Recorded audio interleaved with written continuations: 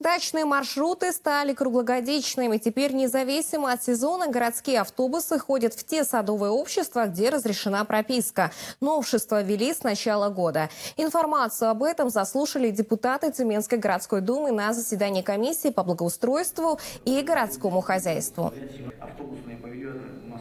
Понимаем, что город Тюмень развивается, появилась возможность у людей постоянного места регистрации. Очень многие люди проживают на крайне либо в пригороде города Тюмени, чтобы им обеспечить качественное обслуживание общественным транспортом для э, приезда в город на свои рабочие места. Слайд номер 11. На комиссии, обсуждая доклад директора профильного департамента Тюмени, депутаты городской думы выдвинули ряд предложений. По утрам в час пик вести дополнительный автобусный маршрут от третьего микрорайона в центр. Также в дальнейшем рассмотреть возможность бесплатного проезда школьников.